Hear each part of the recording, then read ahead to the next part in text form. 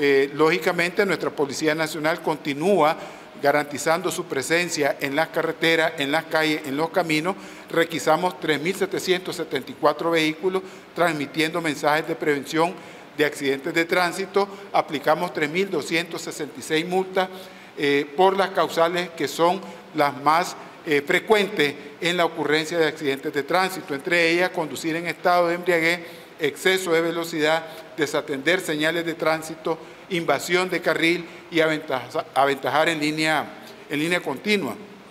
Retuvimos 106 motocicletas, 101 conductores fueron trasladados a las unidades policiales y entregados a sus familiares por eh, conducir con, eh, con, alcohol, con estado de, de embriaguez. 1.776 conductores de motocicletas fueron multados por conducir sin casco de protección.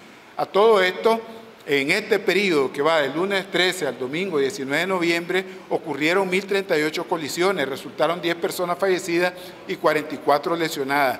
¿Qué es lo relevante en esta semana? Que disminuimos prácticamente en 50%, eh, disminuimos en 10 las personas fallecidas, aumentamos en 19 de las colisiones, pero disminuimos también en las personas lesionadas. Esto significa que hay un buen indicador de que estamos haciendo las cosas bien y de que vamos en la línea correcta, tanto en la labor que realiza nuestra Policía Nacional. De estas 10 personas fallecidas, 6 fueron peatones, 4 conductores y las principales causas fueron imprudencia peatonal, estado de embriaguez y exceso de velocidad. Aquí es muy importante decir que eh, ya van varias semanas en que las personas fallecidas, la mayor cantidad, no son conductores de motocicleta. En esta ocasión, el sector más afectado son los peatones, las peatones en la vía pública. Esto es muy importante remarcarlo porque esto nos permite eh, dirigir nuestras campañas eh, de educación vial, de seguridad vial, a este sector, a este segmento que son los peatones y que generalmente la ocurrencia de personas fallecidas en accidentes de tránsito es por imprudencia peatonal, es decir, peatones que también están consumiendo alcohol y que se están desplazando en la vía pública con eh, estado de ebriedad. A continuación, el reporte de las de accidentes con motocicletas durante este mismo periodo.